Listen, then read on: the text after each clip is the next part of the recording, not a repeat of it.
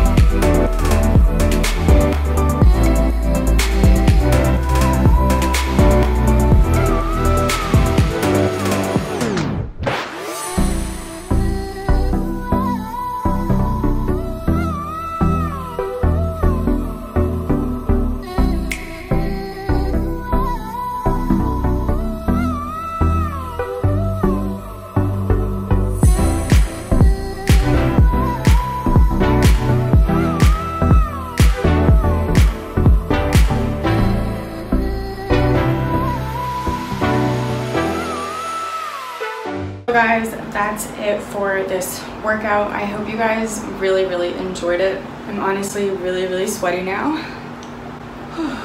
And honestly, that's like a really, really intense workout.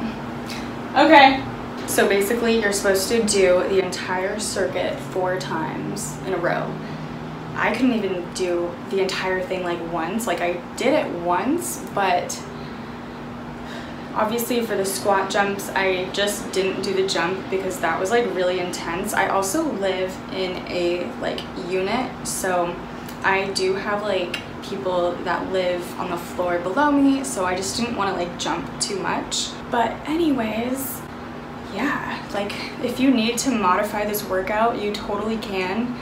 Um, she is like really strong because I cannot even, some of those workouts I was like really struggling. Like the, um, the curtsy lunge with the high knee at the end, like oh my god, those were honestly like really killer. You guys saw that I had to like lay down at one point and just take a break after drinking some of my protein shake. I do want to challenge myself again with this workout and try it again and see if I can get my reps up and um, I don't know, just kind of like work on building up the intensity like each day or every other day depending on how I feel. This was pretty intense so I feel like I'm probably going to be sore tomorrow but we'll see how I feel. If I need a rest day, I need a rest day. Let me know if you guys want to see any other workouts or if you guys want me to do any other like celebrity workouts like I tried Alexis Ren's workout or whatever, definitely comment below because I feel like these workouts are just really fun for me to film. And yeah. Oh, don't forget to like and subscribe. I love you guys so, so much and I will see you in my next video.